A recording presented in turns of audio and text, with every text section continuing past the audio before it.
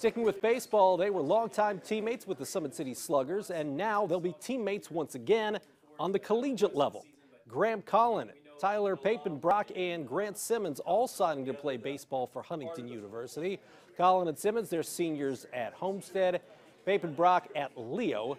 They're looking forward to all being on the same side very shortly. They were the first school that you know uh, really gave me an opportunity to play at the next level, and I built really good relationships with all the coaches and some of the players there. So it was a pretty clear-cut decision for me from the very beginning. I mean, it's a great feeling finally getting this weight off my back, and I mean, I can't couldn't be any happier. I mean, the coaches, the way they talk about their faith. I mean, I'd like to better my faith there. And then just their baseball program as a whole is a great program.